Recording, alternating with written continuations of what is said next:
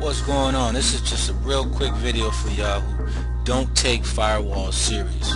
You have to have a firewall installed on your computer if you want to be safe out there on the net. And you know, I can't really stress that enough. And I want to give you an example of what it's like when you have a firewall, what you can do, and what type of things you can stop from happening to your computer. So I have ZoneAlarm. It's the best price going, free. So of course I'm jumping all over that. I know how important it is to have a firewall. And um, here again, ZoneAlarm is free. So that's my type of price right there. So here, what I'm looking at right now is the the log file. This is all the logs that's being kept from different things that's happening on my firewall. As you can see here, we have some incoming communication from a source that I'm not really that familiar with over a, a port that basically uh, identifies a hole that they're trying to punch through to get into my computer with. And that's what we're looking here with this this port here okay? So now their IP address is identified here. This is just basically an address that identifies their computer on the internet. So what I'm going to do is you can see here that this is being blocked. Of course it's being blocked because I have a firewall. I don't, I don't play that.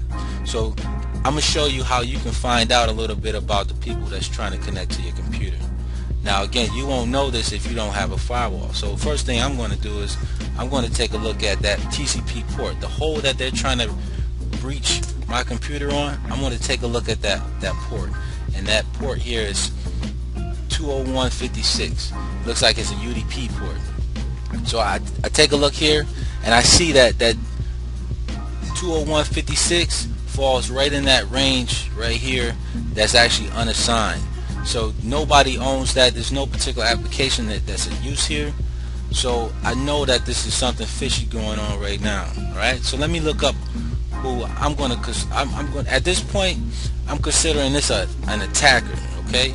Let me take a look at him and see what's really going on. Who this might be. So I'm gonna use this one here because we got two.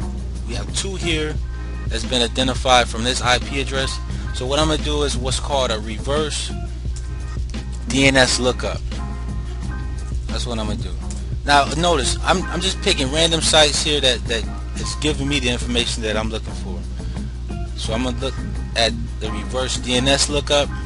I'm going to plug in this IP address to see where our attacker is from.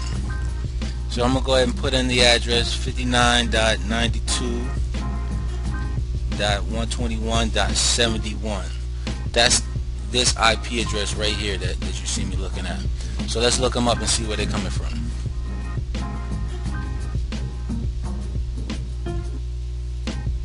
Uh-huh. See?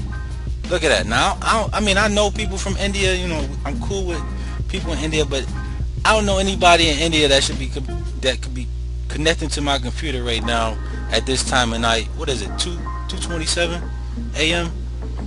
and they, they're trying to get into my computer over UDP 21, 20156 come on now. So for all y'all leaving y'all computer on at night don't have a firewall. There's somebody up in your computer right now trying to get all your information.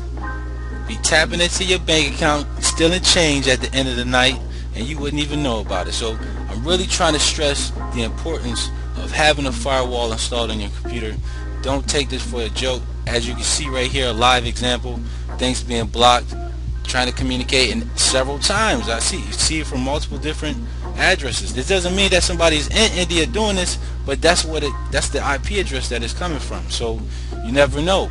But all I know is I'm not I'm not trying to go out there without no firewall. So take this stuff serious, and um, I'll keep giving you some more information as things go on. So thanks for watching.